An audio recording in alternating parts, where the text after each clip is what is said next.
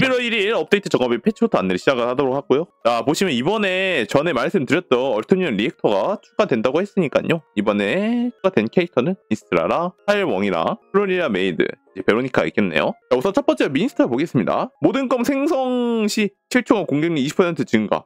또한 검생성 시 궁극기 증폭 효과가 3% 영구적으로 증가한다고 하네요. 그러니까 검이 생기면 생길수록 이제 자기한테는 궁극기 데미지 증가라 그리고 검이 생성되었을 때 debuff가 아닌 자기 공격력이 증가하는 게 보입니다. 또 하나는 방벽의 체력이 20% 증가. 카일웡에게 피해 전이 50%와 피해 감소 관통 30%고. 오호. 방벽이 생성되면 이제 카일웡이 one cut 나지 않도록 그러니까 생존성을 챙겨주게 했네요. 그리고 이제 카일웡에게는 피해 관통 30% 제공을 하네요. 그 다음에는 베로니카. 라스트 이제 브리스타 buff 상태일 때. 그러니까 베로니카 불사 buff일 때죠. 불사 buff일 때 궁극기 명, 경직 면역 상태 돼. 와 뭐야. 이거 테러 쓰겠는데? 모든 공격의 궁극기 경직 면역 판정되고 buff 상태일 때 궁극기 경직 면역 상태가 되니까 이거 절대 밀리지 않다는 거잖아. 내 입장에서는 이거 큰 테러로 괜찮지 않을까라는 생각이 들어요.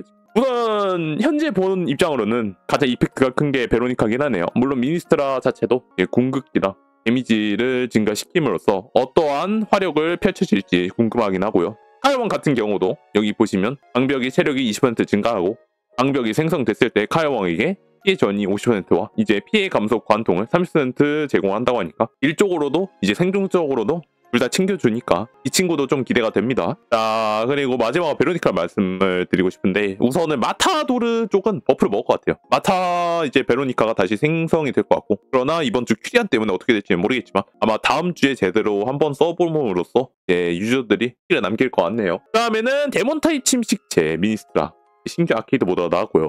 여기 보시면 이제 받는 피해 증폭이나 회복 약화 시스템이 도입이 된다고 합니다. 이번에 한번 또 테스트 해보는 것 같아요. 오, 네퀴티아 텍스트 이모티콘을 주네요 또. 그리고 데몰리션 천공섬 시즌이 진행이 된다고 합니다. 자 보시면 그 이후에는 뭐 알파트릭스 네, 전용 장비를 farming할 수 있고요. 이번에는 그늘의 밑바닥 제아 드랍 보너스 이벤트가 진행된다고 합니다. 그리고 기밀 채용 복각 허윤, 퓨리안, 레지나 맥크레디, 유드밀라, 에키티아, 일반 채용은 카일웡, 베로니카, 오퍼레이터는 맨션 마스터, 리플레이서로 오모가 이렇게 복각이 되네요. 그 다음으로 상점을 봅시다. 빼빠, 휴바, 융합회, 레반 외환파, 레바! 으예! 온타임 이벤트 정보, 선정보, 15만 크레딧, 특수 적성의 교환권 2개. 파타임 이벤트는 연봉 협상, 소모 크레딧 감소 20%라 월드맵 파견 임무 대성 공항률 20% 증가입니다. 혹시 질문 있나요?